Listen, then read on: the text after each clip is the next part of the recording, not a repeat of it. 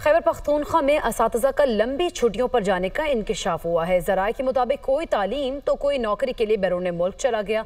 कुछ इस गुजशत कई सालों से एक्स पाकिस्तान लीव पर जा चुके। महकमा तालीम के अलामी के मुताबिक तमाम गैर हाजिर इस का डेटा तलब कर लिया गया।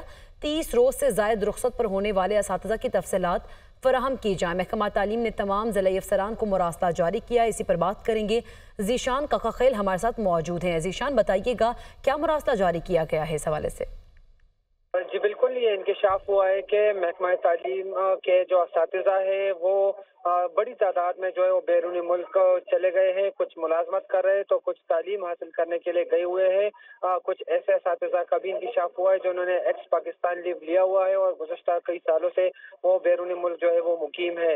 महकमा तालीम ने तमाम ऐसे इस का डेटा तलब किया है और इलामिया जो जारी किया गया है जिली जो अफसरान है उनके नाम उसमें कहा गया है कि तीस दिनों से जायद छुट्टी लेने वाले तमाम इस का जो है तमाम तफसीत फराहम की जाए और महकमा तालीम के मुताबिक इन इस के खिलाफ अब सख्त से सख्त कार्रवाई अमल में लाई जाएगी।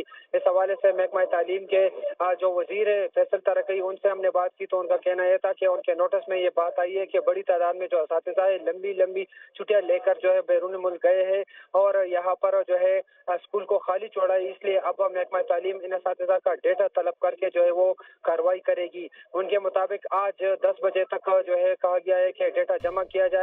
और इसके बाद जो है इन इस के खिलाफ बाकायदा तौर पर कानूनी कार्रवाई की जाएगी। ठीक है, बहुत शुक्रिया, जिशांत का खेल। आप हमें आगाह कर रहे थे।